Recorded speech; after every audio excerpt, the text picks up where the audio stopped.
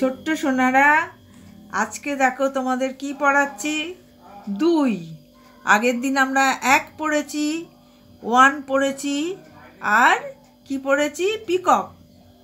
আজকে পড়ব দুই। দেখো, দুইটা কীভাবে লেখা আছে? ওপর থেকে এই রেখাটা টেনে এইরাম উঠছে, আবার নিচে নেমে গেল। এটা কি হয়ে গেল? দুই। দুইয়েতে কি আছে? দুটো বাঘ। দেখো, দুয়ের জায়গায় কিন্তু তিনটে বাঘ নেই বা চারটে বাঘ নেই। কটা আছে? দুটো বাঘ। দুটো বাঘ ইংরাজি কি তোমরা জানো তো? টাইগার। টাইগার মানে বাঘ। T A tiger. তোমরা যখন এবিসিডি পড়বে পিতে পিকক পড়বে টিতে টাইগার পড়বে। হুম? আর এপাশে কী লেখা আছে?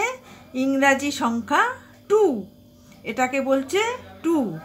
টু মানে দুই।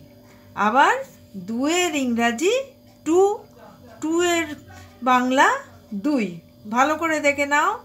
আর এখানে কি রয়েছে? দুই মানে দুটো বাঘ। তাহলে বাঘ ইংরাজি কি বললাম? টাইগার।